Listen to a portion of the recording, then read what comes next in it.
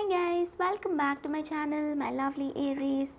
So this is going to be your daily reading for your general energies and instead of your love energies today, I'm going to just take cards of what your person wants to tell you. Okay, so for what your person wants to tell you. So let's start with the general energies today, my lovely Aries.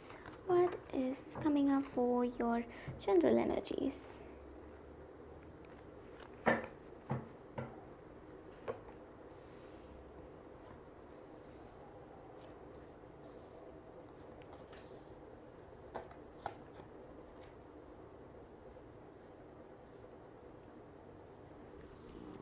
So with these cards here, Aries,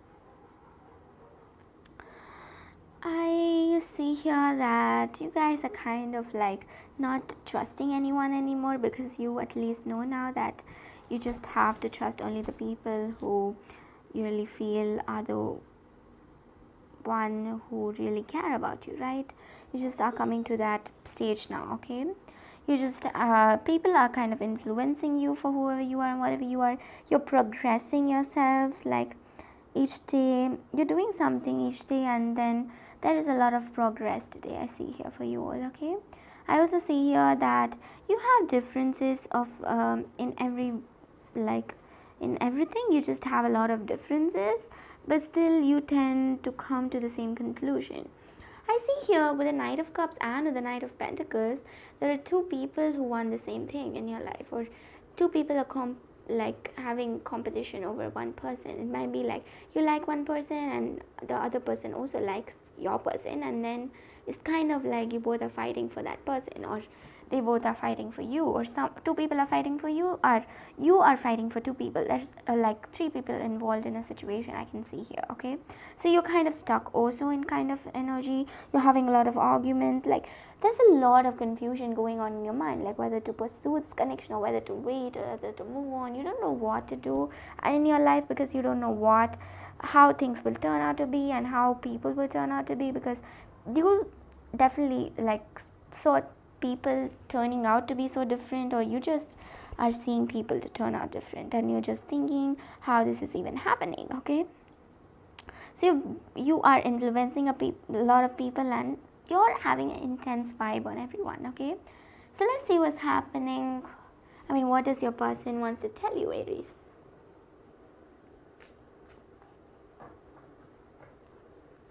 A lot of things hap- is happening in your love life aries that I can see for sure.